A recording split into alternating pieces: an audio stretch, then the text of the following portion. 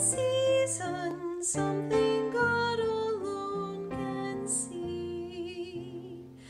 There's a song in every silence, seeking word and melody. There's a